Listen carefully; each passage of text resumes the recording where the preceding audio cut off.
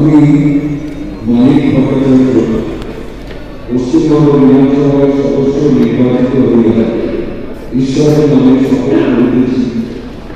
সত্য নিষ্ঠার সহিত প্রতিজ্ঞা করিতেছি যে দিদি দ্বারা স্থাপিত ভারতের সংবিধানের প্রতি আমি অকৃত্রিম নিষ্ঠা ও আনুগত্য পোষণ করব আমি ভারতের সার্বভৌমত্ব ও অখণ্ডতা রক্ষা করব এবং যে আমি গ্রহণ করতে